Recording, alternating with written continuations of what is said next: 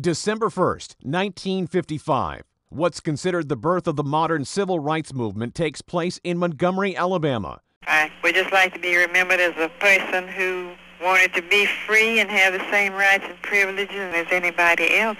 Rosa Parks, a black seamstress, is arrested after she refuses to give up her seat to a white man on a city bus.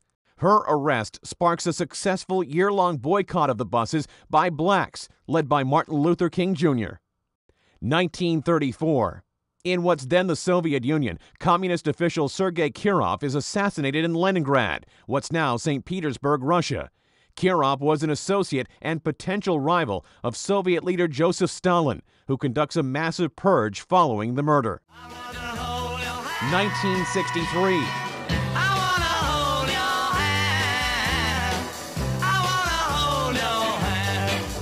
Beatlemania arrives in America as the Fab Four's first single, I Want to Hold Your Hand, is released in the U.S.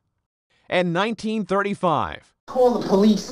Dial 911. It's the lobster squad. Come on, Alvy, they're only baby ones, for God's sake. If they're only babies, then you pick them up. Oh, all right, all right. Actor and director Woody Allen, whose films include Annie Hall and Hannah and Her Sisters, is born in New York City. Today in history, December 1st, Ed Donahue, The Associated Press.